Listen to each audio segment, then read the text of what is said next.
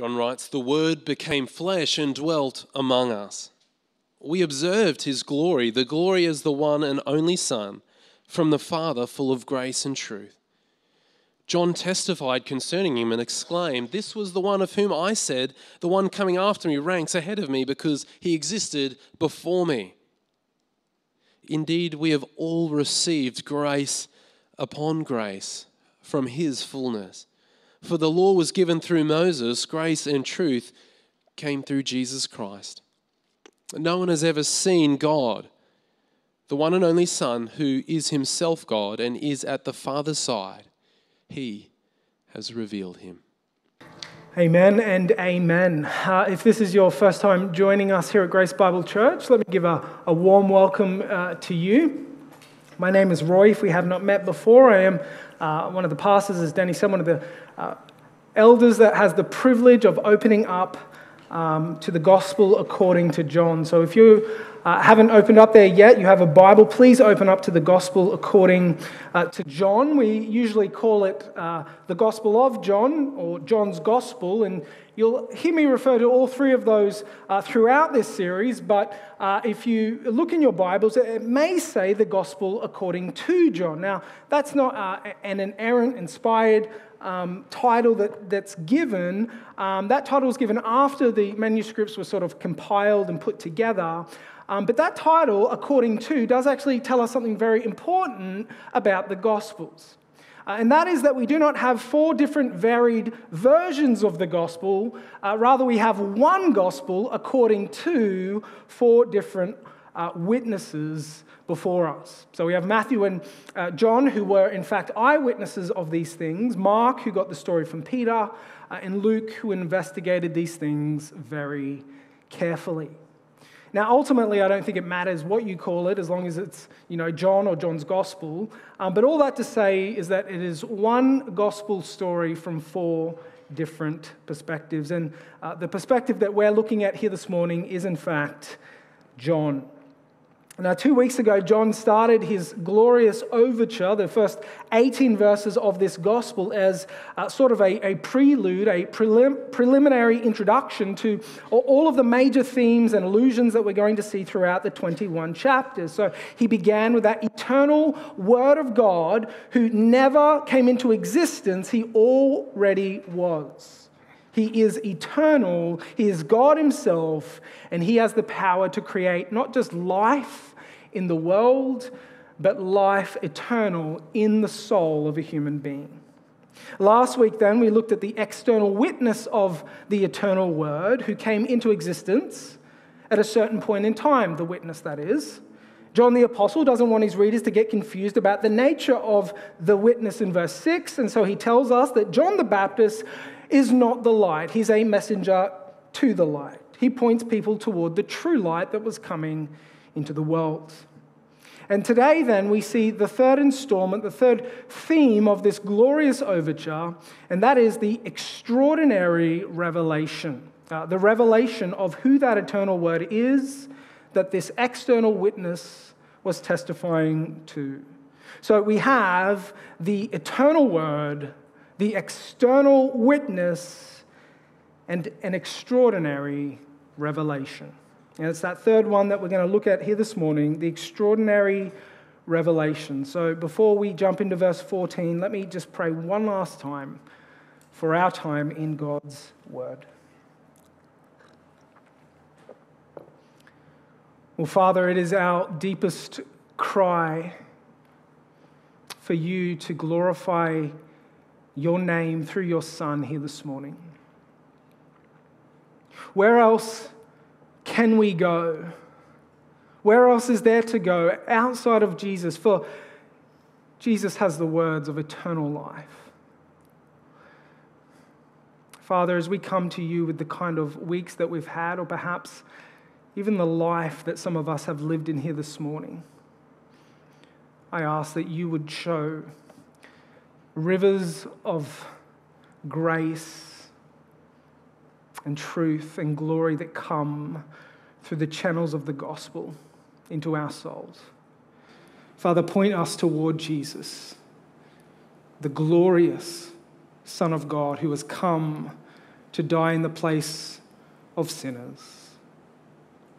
For our good and for your glory, we ask and we pray these things. Amen. Where to begin? What to say? How to say it? When to stop? How to stop? These are the very questions I found myself asking as I was coming to the closing verses of John's overture. Uh, standing before these closing five verses is like standing on the edge of our solar system. I know all of the beauty and the wonder that I see before me and everything that I want to say, but at the same time, feeling at a loss for words at how to even begin to say it. I wonder how John felt as he was writing this gospel, as he was writing these 18 verses, coming to the end of these 18 verses. Did he really say enough? And so instead of attempting the impossibility of human comprehensibility, what I'm simply going to do is read our text, explain our text the best way I can, and see if we can apply the text in a meaningful way, knowing full well that by the end of this sermon, we will have just touched the very surface of verses 14 to 18 and the beauty that we see in the incarnation of Jesus Christ. Incarnation's Latin word for the enfleshment of the Son of God. When God took on human flesh, he wrapped himself in human weakness and frailty. It's what we celebrate every year at the time of Christmas. And it's with great joy that I tell us, friends, that Christmas has indeed come early this morning because we are in the eternal Word who was made flesh to display God's glory, grace, and truth. And so, with all of that set before us, the main point that I want us to see as we come to these verses, it's a bit long, I'm sorry, but it's the best I could do. The word of uh, the word made flesh has come into the world to display the greater grace of the gospel given in glory, grace, and truth. The Word made flesh has come into the world to display the greater grace of the gospel given in glory, grace, and truth. Two points the Word made flesh and the greater grace of the gospel. So if you are following along, please start in verse 14 with me. Let's make our way through God's holy word. John writes, The word became flesh and dwelt among us. We observed his glory, the glories of the one and only Son from the Father, full of grace and truth. In his commentary on the Gospel of John, J.C. Ryle comments if we measure this by words, verse 14 is very short. If we measure it by content, verse 14 becomes very, very long. There is just so much to say in verse 14 alone, but we can't stay there.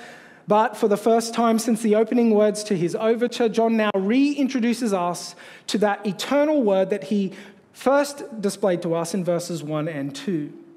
And with unabashed clarity now, John unapologetically describes the word in, in such terms. He describes that eternal word in such a way that was absolutely scandalous for his readers to see. Verse 14, and the word became flesh. Now, don't let that pass you by too quickly, dear friends. Those words are just as shocking today as they were back in the first century church.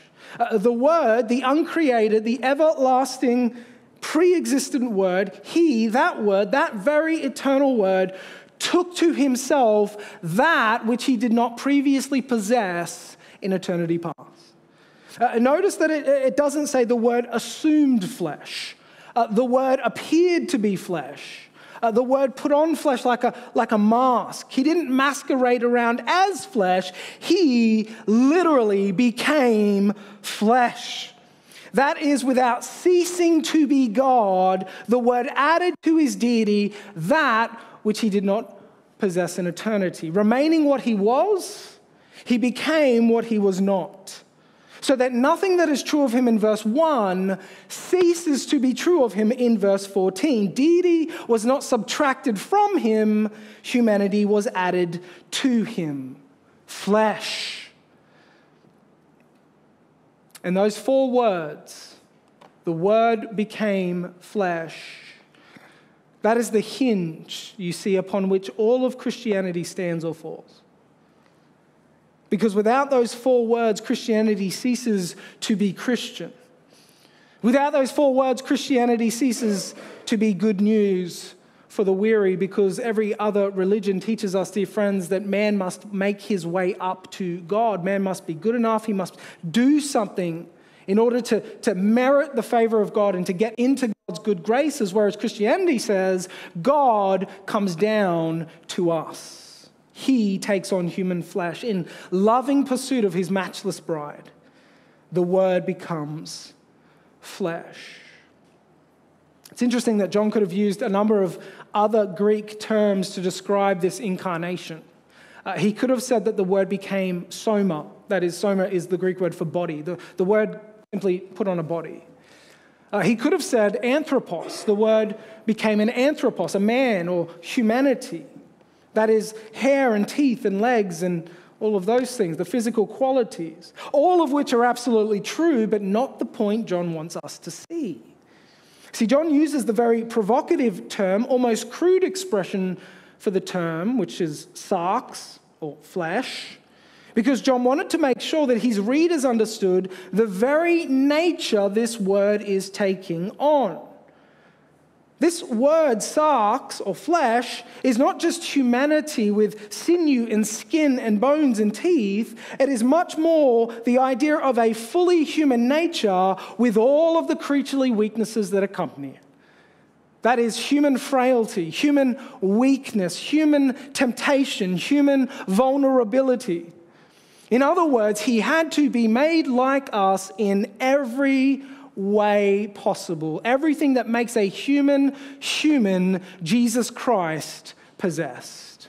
Sin excluded.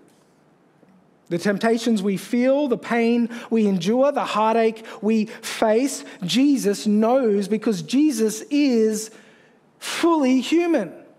He's not a deified human. He's not a humanified deity. He is fully God and fully man. He is the God man. As the author of Hebrews so wonderfully says it, for we do not have a high priest who's unable to sympathize with our weaknesses, but one who in every respect has been tempted. Why? Because he took on human flesh, human nature, everything that makes a human human. All of which is John's very graphic way to tell us Jesus knows our weakness. He knows the very temptations we face. He knows the human frailty that accompany our days and lives. And He's able to sympathize with us in every single manner, yet without sin. In fact, not only did Jesus take on that human frailty and weakness, but he actually entered into the space, into the location where those things are fully experienced. Notice the word did not just take on flesh, but he took on flesh in order that he may dwell among us. Uh, literally, he tabernacled. He pitched his tent in the midst of those he had made. Uh, any Jewish reader looking at John's gospel at this point would read that word dwell there. He dwelt among us, and instantly their minds would be transported back to the Old Testament picture of the tabernacle, the place where God had tabernacled among his people in the wilderness. When God entered into a formal theological covenant, that just means an agreement with the nation of Israel, he made this formal agreement. He said, I will be their God, and they shall be my people.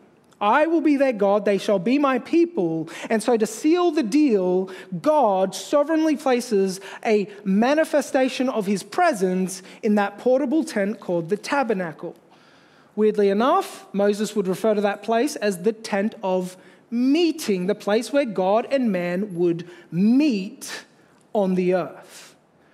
But as with all biblical covenants, there were certain requirements, stipulations, and rules that needed to be met because God is holy and we are not.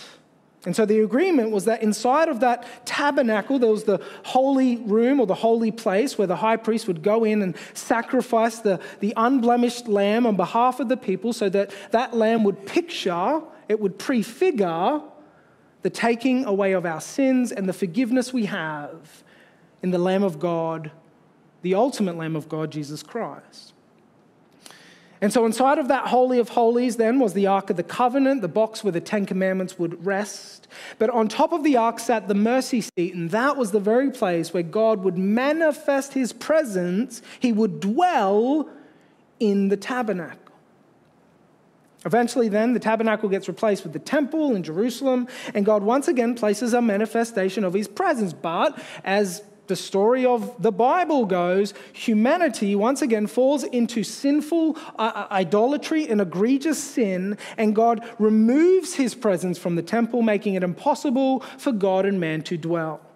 400 years of absolute silence pass by until one day the silence is broken by a prophet in the wilderness. A prophet who is sent by God. That title Hmm, weirdly enough, given by John the Baptist just last week. John the Baptist comes proclaiming the word, the word becomes flesh. He has tabernacled among us, except this time. This time, when God comes to dwell, he would not just use a manifestation, a picture of his presence, he would be the very location of God himself flesh. He would take on all of the properties of a portable human tent, wrapped not in goat skin, but in human flesh, human skin, human bones, where humanity had once removed themselves from the presence of God because of their sin. God, in his humility, now decides to presences himself back in amongst sinful humanity. The Word became flesh, he has dwelt among us. One last thing before we move out of this section. One could not think of the tabernacle in the wilderness without thinking about the glory that fills the tabernacle in the first place. Uh, Exodus chapter 40 reminds us that the glory of the Lord filled the temple so much so that Moses couldn't even enter into the tent of meeting because the cloud had settled upon it. So, not even Moses right? God's chosen prophet was able to enter because it was just so thick with the presence of God. And so when John says that, hey, we have seen his glory, well, once again, every Old Testament reader would have been transported back to the book of Exodus. And so, John, in this brilliant unification of Old Testament, New Testament, he brings them together and he says, Hey, that same glory, that same presence, the same power that was put on display in the wilderness in the days of Moses has now been put on display in the fullness of time, in a much more glorious way through the person and work of Jesus Christ. All of that to say, my dear brothers and sisters, Jesus is a trustworthy picture of the gospel.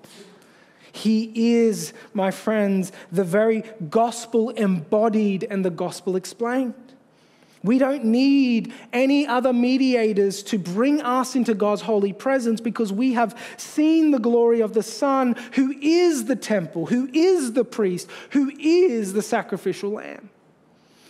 Not only does Jesus fill all of the Old Testament promises, prophecies, and prefigurations, Jesus is at the same time the very radiance of God's glory, the exact expression and representation of who the Father is. For in Christ, Colossians 2 9, all the fullness of deity lives in bodily form. If you want to see God's face, know His glory, hear God's truth, you go to where the person and work of Jesus Christ are most fully on display. And for us in 2021, that is His Word, the Bible. And so, to solidify all of these claims that John is making, he, he, he then harkens us back once again to John the Baptist, the witness to this word made flesh. So he says, verse 15, John testified concerning him and exclaimed, This was the one, the light of the world that I was telling you about. This is the one coming after me, ranks ahead of me, because he existed before me. In the ancient world, someone's rank, someone's honor, someone's status in society generally was tied to their age and maturity. The older the person, the, the greater the honor. The older the person, the greater the rank.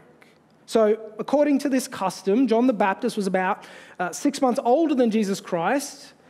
And so, John the Baptist, technically speaking, should have outranked Jesus Christ because he came before Jesus in time. He was about six months older before Jesus was born. That is until John the Baptist reminds us of what John the Apostle has already told us. The pre incarnate word who comes after John the Baptist in time ranks before John the Baptist because he existed before time. He existed in eternity past in the bosom of the Father because he was with the Father, equal to the Father. The Word is God. And therefore, if that's true, then the glory of the Word is a glory he possessed before time itself. And Jesus prays in John 17, Father, glorify me with the glory that I had with you before the world began. This is an intrinsic glory, a glory that can only come from the one and only Son of God, full of glory, grace, and truth. And by the way, did you catch how impressive John's testimony is here in verse 15?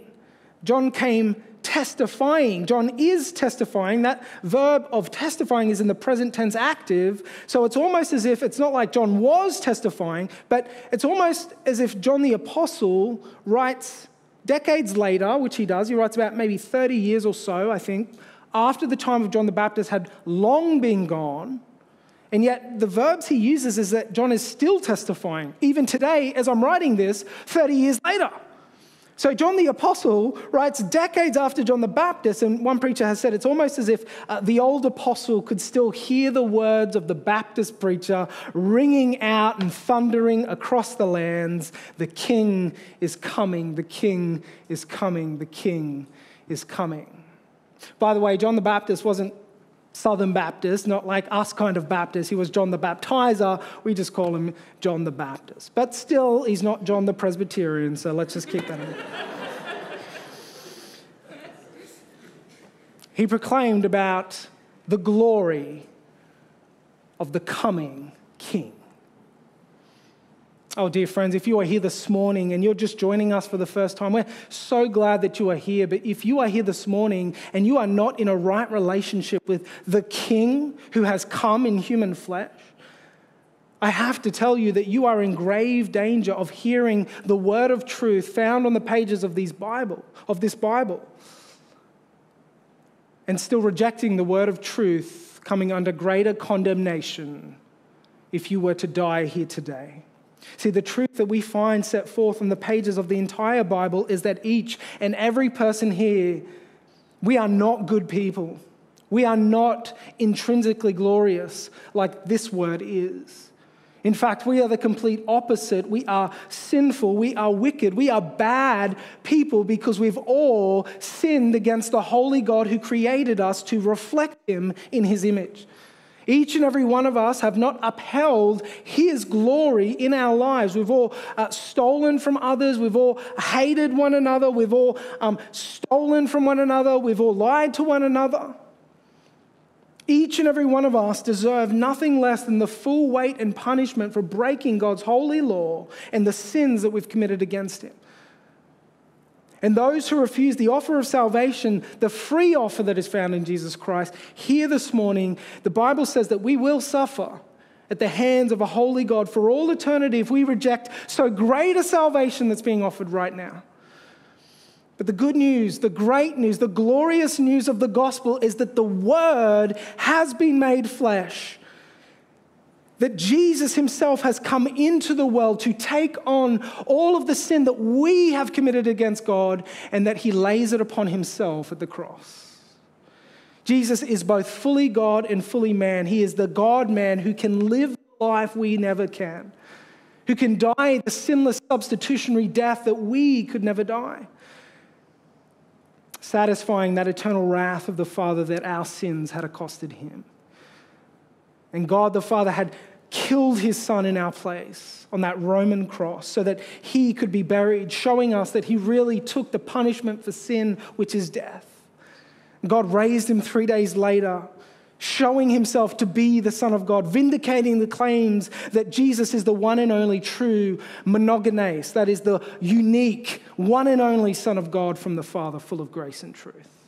And so God calls us to receive, to trust, to receive Jesus Christ by faith alone. Nothing we can do, simply grabbing hold of Him spiritually by putting your trust in that finished work, you can have the righteous right wrath of the Father averted off of you and onto the Son of God. And you can be seen as 100% guiltless of all of your sin because Jesus has taken the blame. That is why the Word is made flesh here in verse 14, dear friends, so that He could go to the cross and be made sin for us. So praise God for men like John the Baptist who fiercely proclaim God's glory, grace, and truth in the face of Jesus Christ. Friends, if, you, if that is a, message that is foreign to your heart and you're not trusting in that, please come see me afterwards. Come see someone afterwards, the service. Don't leave here unless you know that you have eternal life in the Son. I wish we could stay in this section of Scripture for, for, for the rest of the sermon, but we must move on for the sake of time. We have a lot of ground to cover in the second half of our sermon. The Word made flesh. No, the greater grace of the gospel. Sorry, I should have change that. Verse 16. Indeed, we have all received grace upon grace from his fullness. For the law was given through Moses, grace and truth came through Jesus Christ. So, just as John testified about uh, the, the coming light, the grace of God that was coming into the world, the light that was coming, the Lamb who takes away the sin, John the Apostle says, We've received him, we've believed in his name, and he's given us the right to become children of God. And so, once again, John uh, brings in the mention of grace and truth in verses 16 and 17. He mentioned those uh, two words in verse 14 grace and truth, the two words that uh, are used to sort of summarize the ministry and the life of Jesus. Now, again, I can't go too much into it, but those two words, grace and truth, have their Old Testament roots in the Old Testament. They have, those concepts have Old Testament imagery and roots. Exodus 34, verse 6, uh, God said, uh, God is said to be abounding in loving kindness and truth. So that expression actually sets the backdrop for uh, the very nature and essence of who God is for his covenant people. And so here comes Jesus, the very word himself, who is abounding in what? Steadfast love and faithfulness, or grace and truth. And then, right at the center of these verses, 16 and 17, you'll notice John brings in the mention of a man named Moses and the law. Grace and truth, law and Moses, Jesus Christ.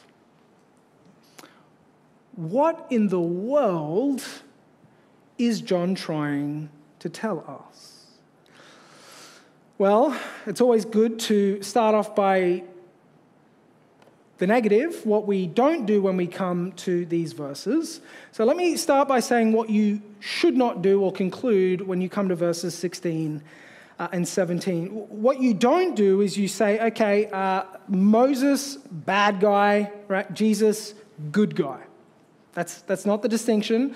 Uh, Old Testament law, bad. Uh, New Testament grace, good. That's, that's not the distinction that John is making here. Uh, we should come to verse 17 in the same way that we come to verse uh, 14, in that what the Old Testament law prefigured, Jesus Christ has fulfilled. He's delivered. What the Old Testament promised, Jesus in the gospel has accomplished. What Moses is the shadow of, Jesus is the fulfillment of.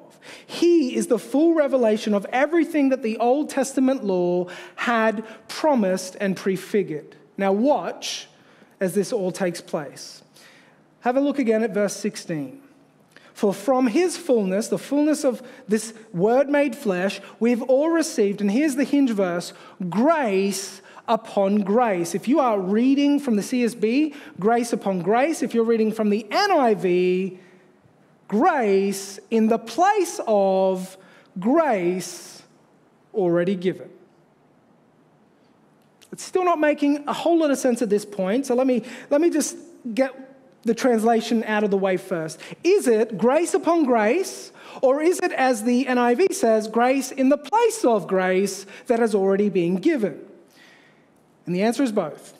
And here's what I mean in the first sense, we have grace upon grace, and that has the idea of uh, grace followed by more grace, or grace replacing grace. The, this idea of a, a never ending, cascading waterfall of grace that is sort of being showered out upon us through the gospel in Jesus Christ. Kind of like, uh, think of the waves on the ocean shore.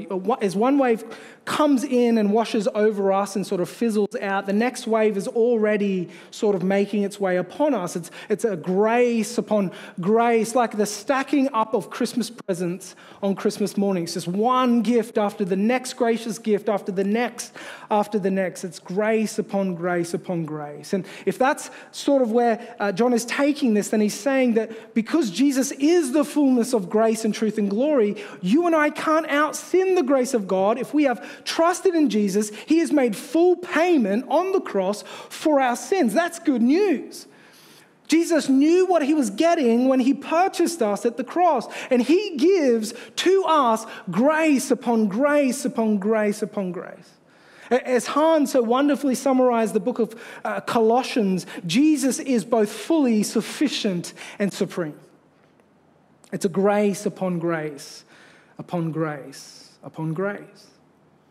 But in the context of this entire uh, section of the overture, verses 14 to 18, I actually think it is grace in the place of grace already given. That is, out of the fullness of the revelation of Jesus Christ, we've all received fresh grace in the place of previous grace. You say, but I don't get that. What, how can grace replace grace? How can fresh grace replace former grace? Well, we don't have to guess what he means because he tells us right here in verse 17. Verse 17 interprets verse 16. Out of his fullness, we've all received grace in the place of grace for or because the law was given through Moses, grace and truth came through Jesus Christ. So, John is saying that the law of Moses was one grace, but the gospel is the greater grace. The previous grace that came through the law of Moses is now replaced by the greater grace of Jesus Christ. You say, how's the, how is the law gracious? How is the law of Moses a gracious thing? Well, the way that I like to think about it is like this Can you imagine living in the time of Moses and Moses had not written the first five books of the law? Can you imagine what that would be like? What, what would we know without Genesis, Exodus, Leviticus, Numbers, and Deuteronomy? The first five books of the law. How would we know anything about creation? What is marriage? What is sin? What would you know about the human race? How would you explain the brokenness that we feel every single day? What would you know about marriage? Who are the covenant people of God? Who is God? What pleases him? What displeases him? See, all of those things and so much more would be lost without the first five books of the law. And so, thanks be to God that He has given us the revelation of His law in human speech, a most gracious act on the part of God. Only problem, it wasn't gracious enough. God's law tells us how to live. That's a grace. God's law shows us our need for Jesus. That's a grace. God's law restrains human depravity and sin. That is a grace. But it's not gracious enough because although the law is holy and righteous and good, the human heart that comes into contact with it is most definitely not. Paul tells us this in Romans chapter 7. Although the law was supposed to bring life, it brought only death. Sin, ceasing an opportunity through the commandments, gives death to our mortal bodies. And so, if the law is good, the law is holy and righteous, says Paul in Romans 7. The problem is not with the law, the problem is with our hearts. The law of God is not graceless, it's just not the full fulfillment of everything that is promised. When a human heart comes into contact with God's law, that law produces death. Why? Because the law shows us our hearts. It shows us our sin, not because the law is bad or sinful, but because we are. And so the question that is lingering here is how do we escape the just judgment of God given by the law that exposes our sin and shows us our hearts? By looking, says John, to the greater grace the grace that fulfills grace, or fresh grace in the place of previous grace. The greater grace of the gospel has come in the fullness of time through the word made flesh. That's the argument that John is making here. The greater grace of the gospel surpasses the previous grace of the law because what the law could not do, weakened by the flesh, God did by sending his son in the likeness of sinful flesh. To condemn sin in the flesh, the law of God prefigured God's grace, Jesus uh, fulfilled it.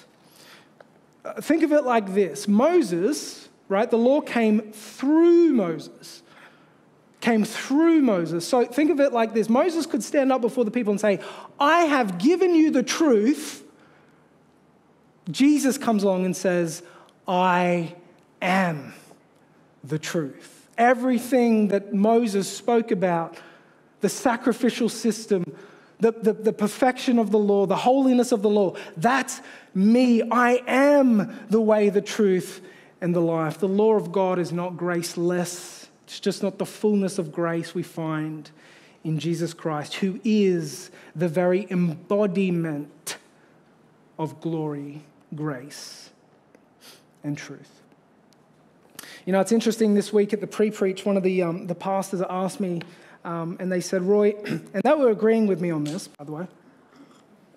They said, if these. Um, 18 verses, this prologue is written to identify, you know, all of the major themes and allusions that's going to be drawn out throughout uh, the gospel, then don't you think it's kind of weird that there's no mention of the cross, the tomb, the resurrection? Now, I won't tell you who I said, who, who asked that, but I, I did say, yeah, Ben, that's, that's really, um, that's kind of weird, isn't it?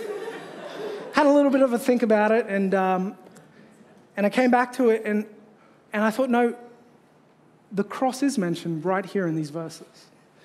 Because glory in the Gospel of John almost always points to the glory of the Son that is displayed in his crucifixion. This is, in fact, the first brick laid in the path to the cross. Because no greater grace, no greater truth, and no greater glory has ever been put on display for human beings to see and to look toward than the cross of Jesus Christ. When God set forth his Son as a propitiation, as a, a sacrifice in our place to assuage his own righteous wrath, that is where glory, grace, and truth come together you want to know those things, John is telling us look to the cross. Look to Jesus on that cross. So, with all of that being said, let me reread verses 16 and 17 from the RSV, the Roy Standard Version. For from his fullness we have all received grace in the place of grace. For the former grace that was given came through the law of Moses, but the greater grace is given through the person and work of Jesus Christ. This is the good news that John is presenting to us here in these verses, brothers and sisters. Jesus Christ can and has fully paid for our sins if you would behold that glory, that grace, and that truth here today. Pledge your allegiance, your life, your trust, everything you are to knowing this word incarnate. And so finally, then, John comes to the end of his prologue here and he wraps this up so beautifully. So beautiful are the notes found on these pages. No one has ever seen God, he says. The one and only Son, who is himself God and is at the Father's side, he has revealed him. So apparently, this word who takes on human flesh, the word given back in verse 1, has an ultimate goal, an ultimate purpose, an ultimate expression when he comes in flesh, and that is to reveal to us the glory of his Father, the glory that he had with his Father in eternity past. And it's so fascinating that uh, on Friday night I began to write down sort of the parallels I saw between verse 1 of John's prologue, verse 18 here in John's prologue, and the similarities are quite amazing. Here's what I discovered in uh, verse 1. John begins this prologue with uh, the eternal and divine Word of God. John finishes the prologue with the eternal and divine Son of God. Uh, John finishes, uh, John begins this prologue with the eternal word, who is God. John finishes this prologue with the eternal Son, who is God. John begins with the eternal word, who is with God. John finishes this prologue with the eternal Son, who is with the Father. We learn back in verse 1 words really do reveal things, and here is Jesus in verse 18 revealing his Father to the world. And so, the entire point of these 18 verses is that Jesus Christ is the eternal and divine Word who has come to show us who his Father is, what his Father is like, full of glory, grace, and truth. The author of Hebrews puts it like this He is the radiance of God's glory, He is the exact representation of His nature. Jesus Christ is to the Father what the rays are to the sun. As the sun beams forth its glorious light onto this world, that Jesus Christ beams forth the glorious glory of the Father. He is nothing less than full deity in bodily form. He is the full revelation of the Father, full of glory, grace, and truth. We often hear the expression never meet your idols, never meet your heroes, never meet those you love, because the more you get to know someone, uh, as Danny was telling us this morning, the more unimpressive they start to become. When you meet your idols up close and personal, you, you actually start to see that they're not all they're cracked up to be. They're just human. But see, here in verse 18, here in verse 1 here in John chapter 1, this entire prologue, we see something that is entirely, altogether different when we come to know the person and work of Jesus. The more you get to know this God, the more you get to know this man, Jesus Christ, the more infinitely impressive he becomes for us. And the more you get to know Jesus, the more infinitely glorious and gracious and, and truthful he becomes as, as he starts to transform our hearts from the inside. Uh, while no other human being will ever live up to the expectations you have for them, your expectations of Jesus will always be far outdistanced by his performances for you. He is the Word made flesh. He is better in every single way, everything our hearts crave and desire.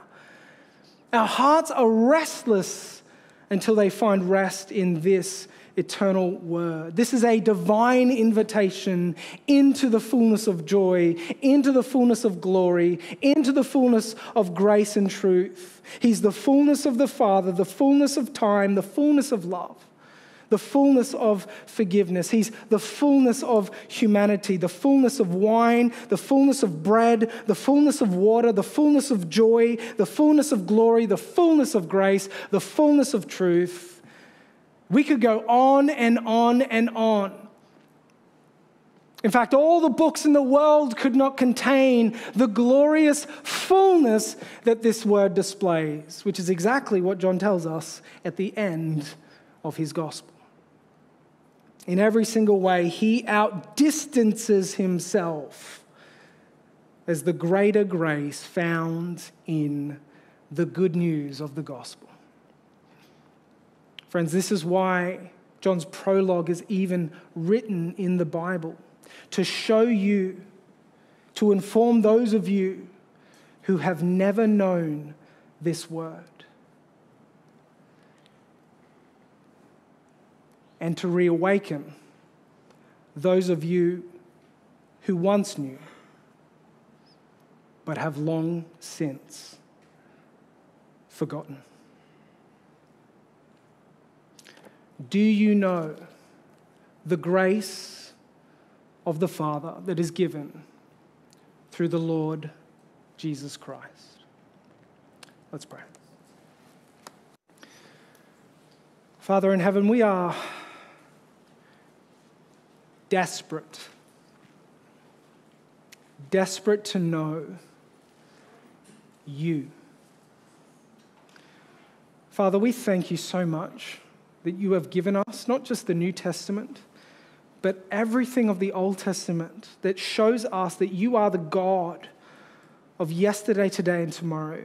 The same God who graciously delivered his people from the hand of Pharaoh in Egypt, the same God who redeems and rescues his people from the grip of sin and slavery in the Old Testament, is the same God who has come in human flesh to deliver your new covenant people through the gospel of Jesus Christ. What all of those Old Testament pictures prefigured, Jesus is the very picture and fulfillment of thank you for Jesus Christ. Thank you, Lord, for the fundamental message we proclaim as Christians that you set forth your Son to assuage your own righteous wrath, to be the propitiation for our sins, so that we may be forgiven because of what Jesus has done. Thank you that we are not bringing unblemished lambs up the front of this church to slaughter on the altar every week but that Jesus Christ, the sin, sinless Son of God, has been made sin once for all, for all time, so that we can just rest in the finished work of Him. We thank you for the gospel. We thank you for John's prologue. Father, continue to challenge and deepen our understanding of it. We love you. We ask these things in Jesus' name. Amen.